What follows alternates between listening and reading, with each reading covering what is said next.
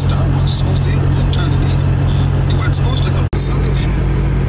Uh, there was a woman by the name of Cyril Brown who was doing for Cosmopolitan back in the 70s and 80s. And she wrote a book called Subverting Politan, which was Playboy for women at the time.